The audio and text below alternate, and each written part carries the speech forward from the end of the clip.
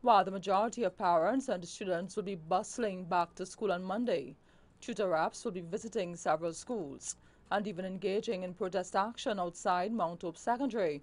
St. George's College. Um, we have Mount Hope Secondary, and uh, I can tell you that the parents are planning a public demonstration tomorrow morning, and uh, TTUTA will be present to lend its support because of the lack of attention given to that school, although emergency works have been have been recommended on a number of occasions. TTUTA says while most of the schools are ready for reopening on Monday, quite a number have pressing concerns which need to be addressed. We are looking at the Gaines Normal AME, uh, Malick Secondary, um, Morvant Laventille Secondary, St. Joseph Secondary, um, San Fernando Central Secondary, Pleasantville Government Primary School.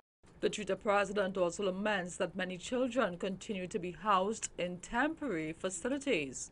There are a number of decanted schools that have not been given the attention. Palmiste Government Primary School, as the public was well aware, had a fire last term, and till this date, nothing has been done at the original compound.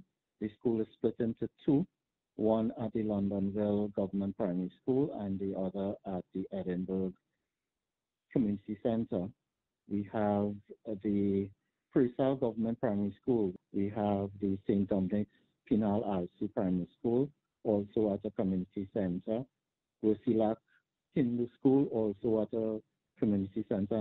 Despite the challenges, TTUTA says all teachers will be reporting to schools on Monday. Renessa Cutting, TV6 News.